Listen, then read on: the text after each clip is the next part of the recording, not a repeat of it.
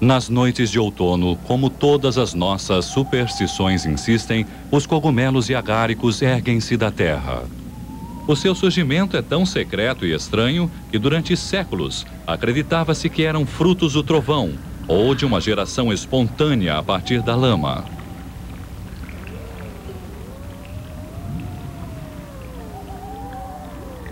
A sopa de esporos que goteja do Coprinus atramentários forneceu não apenas o seu nome em inglês, mas também tinta para escrever. Até mais da metade do século XVIII, o seu propósito para o fungo é fornecer meios efetivos de transportar esporos para dentro do solo.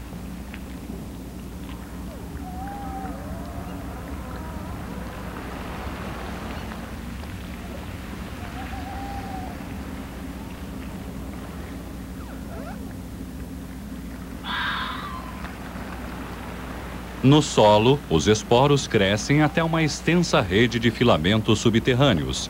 Então, na época certa do ano, eles se transformam em corpos carnudos, agáricos.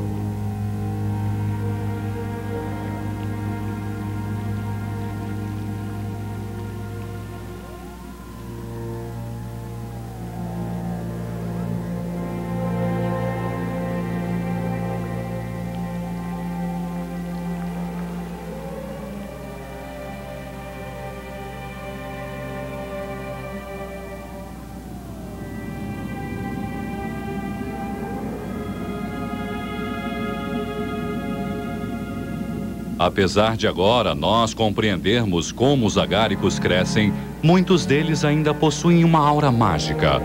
O Amanita muscaria, principalmente, sempre esteve associado a duendes e bruxas, talvez porque fosse usado quase sempre como uma droga alucinógena.